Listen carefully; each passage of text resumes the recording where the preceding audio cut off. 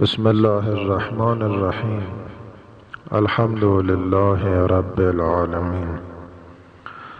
والصلاة والسلام على اشرف الانبیاء و خاتم السفراء سیدنا ابی القاسم محمد.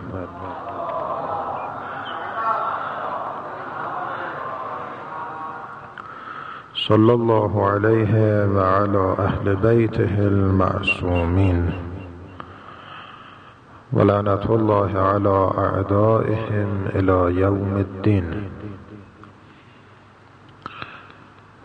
پیرامون مبحث خوف صحبت داشتیم. دو چیز است که مؤمن رو همیشه خائف نگه میداره. یکی گناهان گذشته او نمیدانه که آیا خدا بالاخره بخشیده او را یا نه. نگرانه. دوم نمیدانه در آینده عمرش چه محالکی را کسب می‌کنه. مواقع سقوط. تعبیری که حضرت امام رضوان الله تعالی علیه رو این خیلی تأکید داشتن. طلابی خدمتشون رفته بودن برای امام گذاری. سوال کرده بودن حضرت امام که اگر یک دعای مستجاب داشته باشید چه دعایی می‌کنید؟ یا اگر خدمت امام زمان علیه السلام رسید چه درخواستی می‌کنید؟ یکی از طلبه ها زرنگی کرده بود گفته بود آه شما چی می‌خواید ایشون فرموده بودن عاقبت به خیری را می‌خوان. یه عمری چه بسا زحمت انسان می‌کشه اما خائف از عاقبت عمره. به چه گونه ختم میشه؟ ختم به خیر و سعادت یا شقاوت؟ از این جهت خائفه.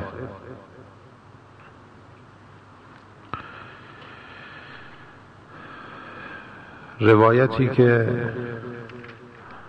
از امام صادق علیه السلام در اصول کافی.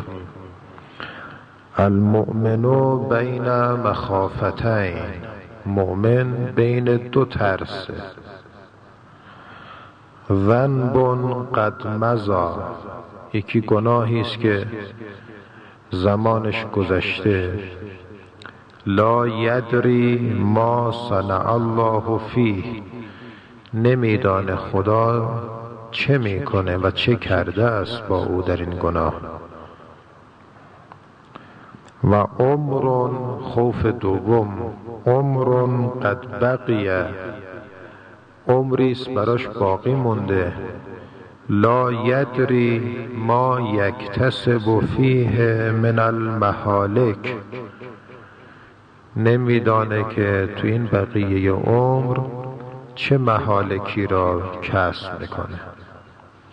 خدای ناکرده لغزش هایی براش به وجود بیاد سقوط بکنه. فهو لا یصبح الا خائفا.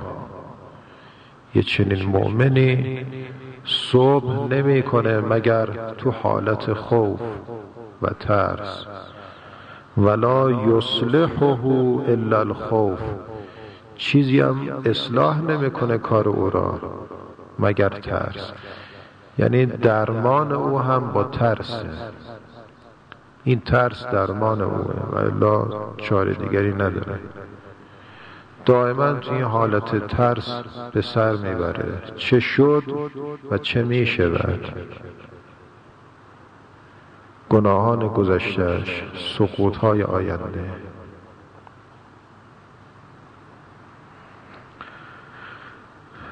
خب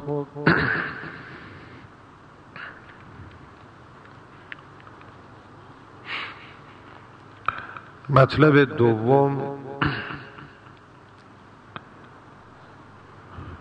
چه کنیم؟ خائف از خدا باشیم. قبلا هم اشاره کردیم. گفتیم شناخت خدا به انسان خوف میده. عظمت خدا رو بدانه. عدالت خدا رو هم بدونه. چون ترس از خدا ترس از ظلم نیست. گاهی انسان از یک کسی میترسه چون ظالمه. از ظلمش میترسه. گاهی میترسه از عدالت یک کسی به این معنا که خودش خطا کرده چون طرفش عادل می‌دونه میترسه. آدمی که خطا کرده از دادگاه عادل میترسه. ترسش نه از ظلم دادگاهه بلکه از عدالت دادگاه میترسه که خودش ظلم کرده میگه خب قادتا من رو مجرم می‌شناسه مجازات هم می‌کنه. تو دعای روز یک شنبه مفاتی. هر روز یه دعایی داره همون اوائل مفاتی. داره که ولا اخشا الا عدله. من نمی ترسم مگر از عدالت خدا. ترس از اوه. قرض اگر خدا رو بشناسیم خائف میشیم. تو روایت باز از امام ششم علیه السلام من عرف الله خاف الله. کسی که خدا رو شناخت از خدا هم ترسید. اینا لازم و ملزوم یکدیگره. وقتی خدا رو بشناسه میترسه. و من خاف الله سخت نفسه عن الدنیا. نفسش کسی که خدا رو بترسه از دنیا فاصله می‌گیره و دنیا رو کوچک میشمره منقطع از دنیا میشه. مطلب سوم چگونه از خدا بترسیم؟ کیفیت.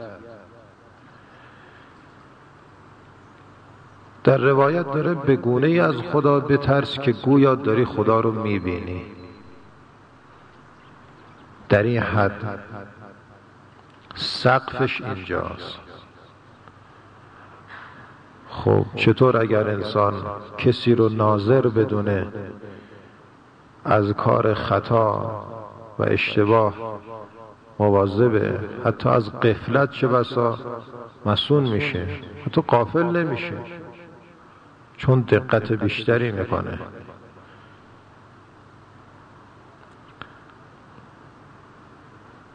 ناظر وقتی کسی رو دید قافل نمیشه که در حین قفلت خطایی بکنه. چه رسد به این که بخواد عمدن خطا بکنه. تو حدیث داره از اسحاق ابن عمار میگه که امام صادق علیه السلام فرمودن یا اسحاق خف الله که تراه. به گونه ای خدا رو بترس که گویا داری خدا رو می‌بینی. با چشم دل نه با چشم ظاهر. اینطوری که داری گویا خدا رو می‌بینی. بعد فرمودن و ان کنت لا تراه فانه یراک. اگر تو او را نمی‌بینی خدا تو رو می‌بینه. این مال مرحله ضعیفتره. یه وقت انسان ایمانش به جایی رسیده که خدا رو می‌بینه.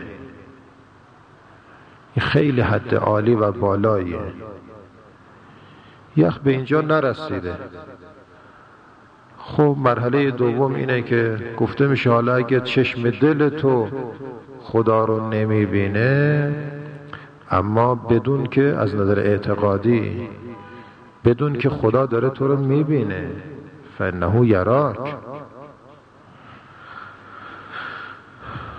دنبال حدیث داره و ان کنت ترا انه لا یراک فقط کفرت. ای اسحاق اگه تو عقیده داری که خدا تو رو نمی‌بینه تو کافر شدی. اگه ایمان نداری فکرت اینه که میگه نه خدا منو اصلا کفره. خب این که نیست. یقینا کسی که مؤمنه ولو مرحله اول رو نداشته باشه خدا رو نبینه. مرحله دوم رو داره. مؤمن عقیده شد داره که میگه خدا همه چیز رو داره می‌بینه. لذا فرمودن و این کنت حالا اگر رفتی سر قسم دوم. و این کنت تعلم انه یراک. اگه میدانی که خدا داره تو رو می‌بینه. ثم برزت له بالمعصیه. بعد وایسادی معصیت خدا رو کرده. با اینکه عقیده داری خدا تو رو می‌بینه. معصیتشو کردی فقط جعلته من اهون الناظرین الیک. تو اومدی خدا را از سوسترین بیننده های به خودت قرارش دادی به تعبیر دیگه از یه بچه دو ساله خدا رو کوچیکترش دونستی. یه بچه دو سه ساله تو رو می‌دید ممکن گناه نکنه. حالا میگه عقیده دارم خدا می‌بینه. بازم گناه کردی. ببینید دیگه شق سوم اینجا نداره. یا میگی خدا رو عقیده ندارم که می‌بینه یا عقیده داری. اگه اعتقاد نداری که خوب کافری. و اگر عقیده داری میگه خدا می‌بینه. از چه گناه؟ چرا معصیت؟ خدا داره تو رو می‌بینه بازم معصیت می‌کنی در حضور او. پس خدا رو از احون و ناظرین قرارش دادی. پایین ترین بیننده ها بی ارزش ترین بیننده ها قرارش دادی. ببین داری چه می‌کنی.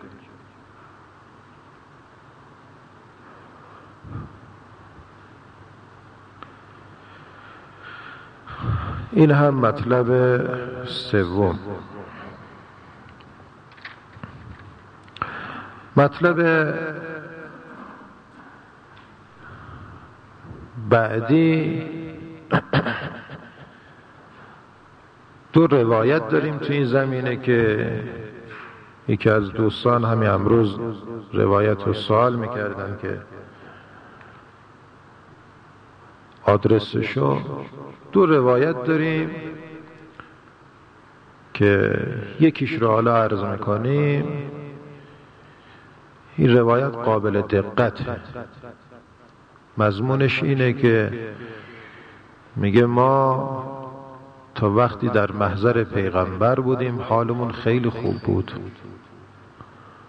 خوف از خدا داشتیم. میترسیدیم. وقتی از محضر پیغمبر دور می شدیم می رفتیم منزل. فراموش می کردیم حالت سابق خودمون رو.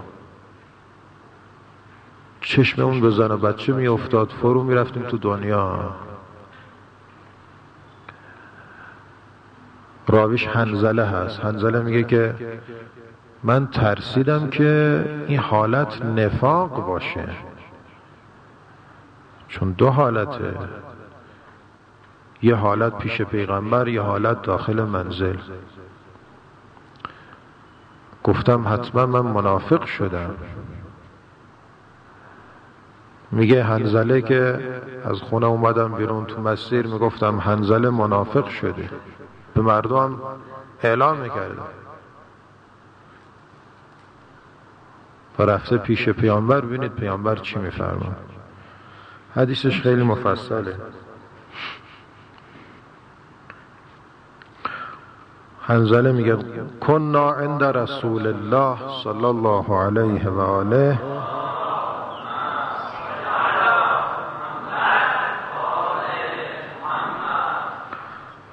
فوعظنا موعظتا پیغمبر ما را موعظه کردن و موعظه می کردن کنا مفید استمراره. یعنی حالت ما همیشه اینطور بود. وقتی پیش پیغمبر بودیم موعظه می کردن رقت منها القلوب.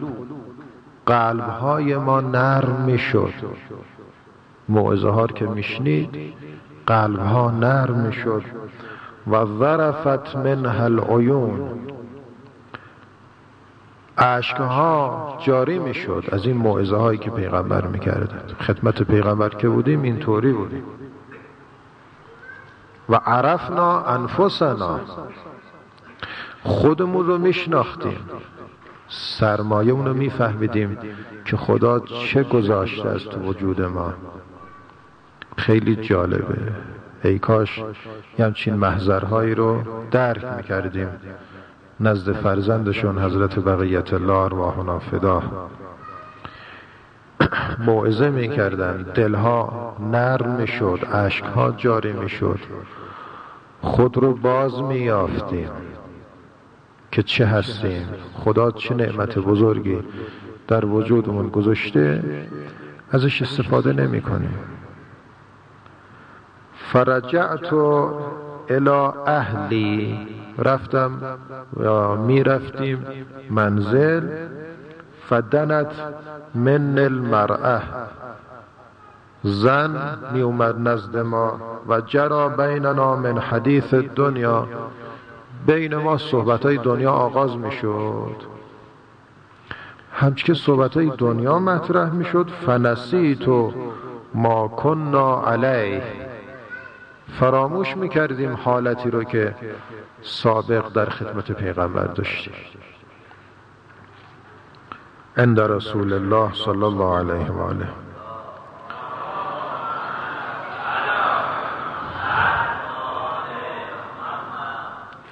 و اخذنا فی دنیا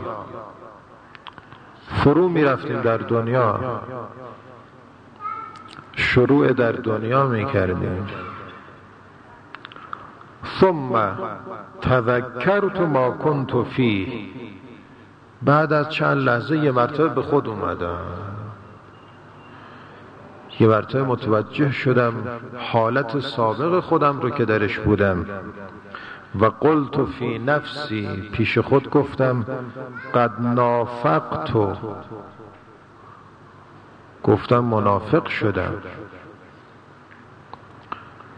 حتی تحول عنی ما كنت فیه من الخوف و الرقه. گفتم منافق شدم به گونه ای که اون حالت خوف و ترسی که خدمت پیغمبر داشتیم رقت قلبی که تو اون زمان داشتیم همه متحول شده. اینجا تو منزل اومدیم عوض شدیم. این دو حالته. نکنه ظاهر و باطن ما دو گونه شده منافق شدیم. فخرج تو وقتی متذکر شدم از خونه اومدم بیرون و جعل تو انادی. مرتب فریاد می‌زدم اعلان می‌کردم نافق هنزله گفتم هنزله منافق شده. فدخلت على رسول الله صلی الله علیه و آله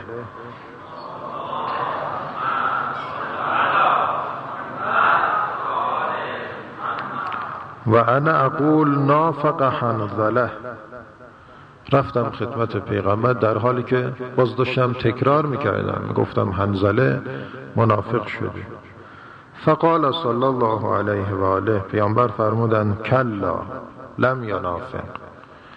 همدن نه منافق نشده. هنزله هنوز منافق این نفاق نیست. نفاق این دیگه حالا ترجمه حدیث نیست این نفاق اینه که انسان تو باطنش چیزی است و هم وقت داره اظهار می‌کنه چیز دیگری. به دروغ میگه من عقیدم اینه.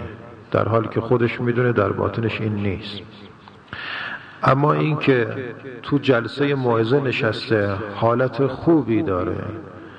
میره جلسه دیگه حالتش عوض میشه این نفاق نیست این درویی نیست. این تاثیر جلسه هست. مجالست با اقیار تأثیرش این. فقلت یا رسول الله هنزله میگه به پیامبر گفتم کنا عندک. ما قبلا نزد شما بودیم. فوعظتنا موعظتا ما رو موعظه فرمودید. موعظه ای که وجلت منها القلوب. دلها حراس پیدا می‌کرد ترس پیدا می‌کرد. و ورفت منها العیون. اشکها جاری می‌شد. افراد داخل جلسه گریه می‌کردند از موعظه شما. و عرفنا انفسنا. هممون خود رو میشناختیم که چه هستیم چه داریم و باید چه بکنیم. اینا رو میفهمیدیم. فرجعت الى اهلی. بعد که رفتم منزل پیش زن و بچه هم فاخذنا فی حدیث دنیا اونجا شروع کردیم صحبت دنیا کردن و و نسیت ما کننا عندک علیه. فراموش کردیم آن چرا که نزد شما بودیم. اون حالت ها همه به فراموشی سپرده شد. فقال یا حنزله لو انکم ابدا على تلك الحاله لصافحتكم الملائکه فی الطرق و علی فرشکم گفتن هنزله اگه اون حالتی که پیش من داشتید یعنی دلهاتون ترس داشت اشکتون جاری می‌شد اگه اون حالتتون دائمی بود یکسان بود ملائکه باتون تو مسیر راه مصافحه می‌کردن. و همچنین در خانه هاتون همون وقت که نشستید یعنی به این درجه می‌رسیدید. ولکن یا حنظله ساعتا و ساعتا. بر فرمودن هنزله حالا شما دائما نمی‌تونید اما ساعت و ساعت یعنی اندک اندک. ساعت عربی بنای شست دقیقه نیست یه تکه از زمان رو میگن یک ساعت. یعنی سعی کنید این ساعت ها رو قدرش داشته باشید. همون ساعت هایی که تو جلسه هستید حالتون خوبه اونو حفظش بکنید. حالا این سرمایه موجود اینه. حالا میرید منزل فراموش می‌کنید. حالا اون دیگه تو حدیث دومش که حالا اونو تو نوشته ها آوردیم اون حدیث دوم رو. تو حدیث دوم داره پیغمبر فرمودن که این دستیسه شیطانه. یعنی شیطانه نمی‌ذارد حالت شما دوام داشته باشه. ای چه بسا تو جلسه جلسه تمام شده هم بعد جلسه داره شروع می‌کنه شوخی و مزاح و صحبت های بی خودی می‌کنه. از همونجا شیطان نمی‌ذاره. یک رو قبلش حالت دیگری داشته.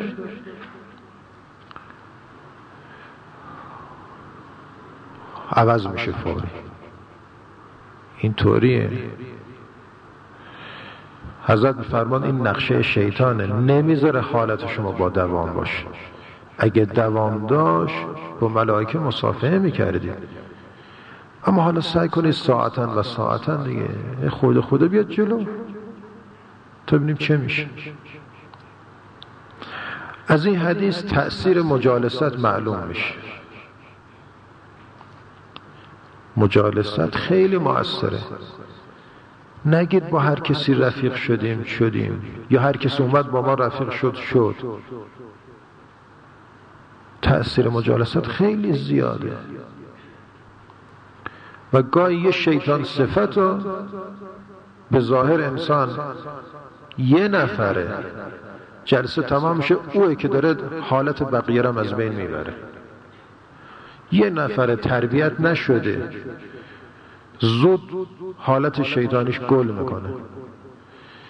و چون حضور داره تو جلسه حالت بقیه رو از بین می‌بره. نمی‌ذاره اون حالت دوام داشته باشه. دیگه چه رسد به اینکه بره داخل منزل و صحبت های دنیا مطرح بشده این چیزها مرحوم جمال گلپایگانی که از مراجع تقلید بودند و و همچنین استاد اخلاقم بودند.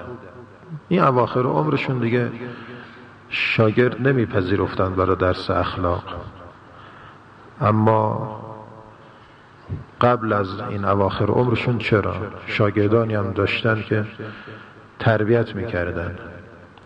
و الان علمایی که سابقه در نجف داشتن بعضشون اینها استفاده معنوی از محضر ایشون کردن. هم از علمای اصفهان هستن هم از قوم. هوای گرم نجف به گونه است که خب دیگه ظهر و بعد از ظهر کسی به اون صورت بیرون نمیاد. بازارم معمولا بازار نجف نصف روز است. بعد از ظهر تعطیله. تا باز نزدیک مغرب و شب باز بعضشون باز بکنن. اما نوان پیش از ظهر خید و فروش. هوا گرم کسی به اون صورت بیرون نمیاد. فعالیت ها تو قسمت شب و قبل از ظهر بیشتر انجام می‌گیره یه کسی دیده بود که ایشون مرحوم جمال گلپایگانی تو هوای گرم از نجف رفتن بیرون دارن میرن پیاده رو به قبرستان وادی السلام. این تعجب می‌کنه که مرجع تقلید. چه کار ضروریه که مردم کارهای واجبشون هم تو این هوای گرم زمین می‌گذارن؟ ایشون برای چی؟ حتما یه کار خیلی لازمیه. بالاخره یه موقعی تصمیم می‌گیره همراه آقا میره ببینه آقا چه می‌کنن؟ چه می‌بینن اونجا؟ میگه به مجرد اینکه وارد قبرستان شدیم یه هوای بهشتی هوای بسیار لطیف دور ما رو احاطه کرد. فضایی که نظیرش تو دنیا ندیده بود. هم هوا معطر بود و هم خنک. نسیم خیلی عالی. پیش خودم گفتم ها پس آقا صدمه نمی‌خورن که وضعشون خوبه خلاصه که اینجا تو این وضع گرما میان قبرستان. خلاصه میگه همراه آقا رفتیم. یه قسمت قبرستان بود آقا. یه دقت بیشتری داشتن. با اون چشم باطن بینشون می‌دیدن که آینده قبر خودشون اونجاست. اون موقع کسی متوجه نمی‌شده منظور این که بعد که برگشتیم تو مسیر بازگشت یه نفر رسید به آقا سلام کرد و رد شد. به مجرد که رسید سلام کرد اون فضا از بین رفت. وقتی رفت و رد شد آقا روش نکردن به من و گفتن تأثیر مجالست رو دیدی؟ مجالست ولو همین. به نفر سلام می‌کنه رد میشه. مجالست خیلی تأثیر داره. مجالست با رفیق از تأثیر تربیت پدر و مادر از تأثیر نطفه حرامزاده از تأثیر غذای حرام بیشتره غذای حرام کسی بخوره چقدر تأثیر منفی داشت روش داره. نطفش زنا باشه چی؟ تربیت پدر و مادر منفی باشه چی؟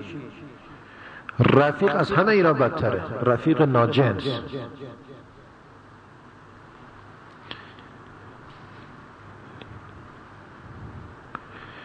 از اون طرف رفیق خوب انسان داشته باشه اهل دل باشه همسفر باشه. در طی طریق طریق الله روحش با روح یکی باشه هر دو یک چیز رو بخوان و اون خدا. اونم اونقدر تأثیر مثبت داره بیشتر از چیزهای دیگه. کافیست عمل رفیقش رو ببینه تشویق میشه تشویق به آخرت. از سخنان او استفاده دینی و معنوی می‌کنه. اعمال او همش اعمال خوب. مجالست او یاد می‌گیره اصلا شکلی مجالست بکنه شکلی سخن بگه شکلی غذا بخوره. به خصوص اگه یه سفر با او بکنه. اینه که تو این روایت تأثیر مجالست روش اشاره شده. مطلب پنجم در مورد اینه که یکی از آثار خوف چشم گریانه. کسی که خائفه یکی از آثارش اینه که اشک چشم داره. و اشک چشم کاشف از سوز دله. نشون میده دل می سوزه دل سوخته. وقتی واقعا سوزش داشته باشه اثر ظاهریش اینه. اشک و جاری می‌کنه. به خصوص اگه یه جمعی باشن دور هم همه اهل همین باشن. بیا سوت دلان گرد هماییم. اون شعر ترکی است که سوخت دلان و میگه سوت دلان. دور هم می نشینن و صحبت از شهریار و یار می‌کنن گریه می‌کنن. خوف هجران برشون مستولیه چرا از یار فاصله دارن؟ گریه می‌کنن.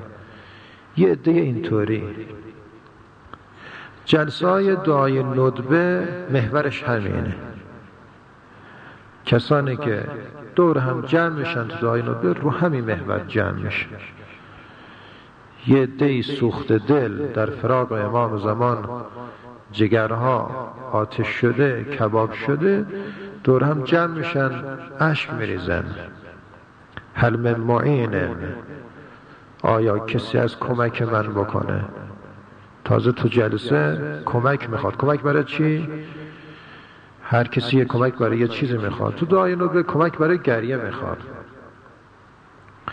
فاطیل معه العویل والبکا. یه رفیق یک دله اینطوری می‌خوام. کمکم بکنه تا من گریه رو طولانی کنم. عویل فریاد بزنن یه ده اینطوری کمک به یکدیه اینطوری بکنه. هل من جزوع آیا آدم جزع؟ کسی که جزع بکنه. مادران فرزن از دست داده دیدید چطوری فریاد می‌زنن؟ اشک میریزن زجه می‌زنن. تو جلسه دای به جزوع می‌خوای. فاساعد جزعه اذا خلا. تا من هم جزع او رو مساعدت بکنم کمکش بکنم. گاهی محورهای جلسه اینه. اثر خوف مؤمنی که خائفه اون مطلب اول که گفتم اینجا نتیجهش توی مطلب پنجم آشکار میشه. خوف از گذشته و آینده ای که تو حدیث خوندیم. او اثرش میاد خائف میشه. اثر خوف این دل میسوزه ناراحته. اثر ناراحتی اینه که اش از چشمانش سرازه میشه. اگر اشک چشم دارید قدر داشته باشید و اگر ندارید از خدا بخواید داشته باشید چون منفعت بزرگی رو محروم هستید. از خیلی معارف محروم هستید. اگه اشک چشم کسی نداشته باشه و دلش قصی باشه محروم میشه و دور از خدا میشه هر قدر آدم خوبی هم باشه. وقت آخر حدیث داره و هم لا یعلمون. بدیش اینه میگه خودشونم نمی‌دونن. خدا نکنه دیگه حالا تو جلسه آدم اینطوری داشته باشه یعنی الانم که دارم ترجمه حدیث رو میگم که کسی اشک چشم نداشته باشه روایت میگه دورترین انسان از خداست. دارم حدیث معنا می‌کنم بازم باورش نمیاد. که کی میگه؟ کی گفته اصلا دوری رو حس نمی‌کنه. حدیث هم همینه میگه میگه و هم لا یعلمون. آدم دور خود دوره دیگه. آدمی که عقل کم داره بهش بگو پنیر نخور عقلت کم میشه. همینم نمی‌فهمه خود این جمله رو بهش گفته بودن گفته بود عقل چیه؟ تا گفت عقل چیه گفت خب بخور. تو برای تو مشکلی نیست. چون که عقل نداره همین جمله رو هم نمی‌فهمه. آدمی که دوره دوری رو حس نمی‌کنه. آدمی که قافل قفلت رو نمی‌فهمه. اگه بگن ایها القافل فوری ذاکر میشه. قافل قافل از قفلت خیش هم هست. یعنی نمی‌دونه که قافله. آدم دور هم همینطوره. وقتی دور از خداست دوری رو حس نمی‌کنه. اینو مواظب باشید.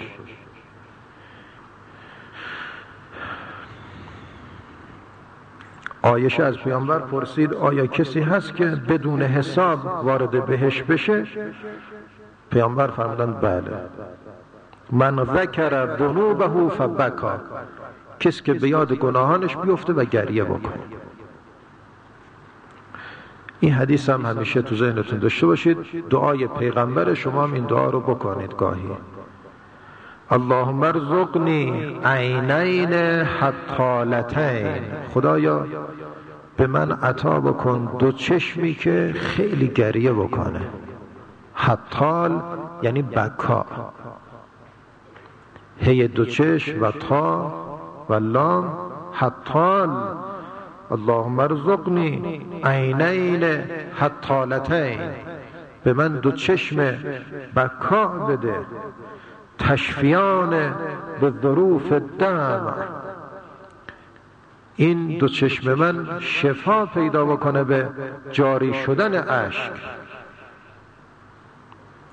روان بشه. اشکا از این چشم سرازیر بشه به این شفا پیدا بکنه. قبل ان تسیر الدموع و دما و الارواس و جمرا. قبل از اینکه این اشکها خون بشه. و دندانها تکه های پاره آتش بشه. شاید منظور آخرته. قبل از اینکه اونجا اینطور بشه تبدیل به خون بشه و دندانها یک پاره آتش بشه به من دو چشم اشک ریزان بده.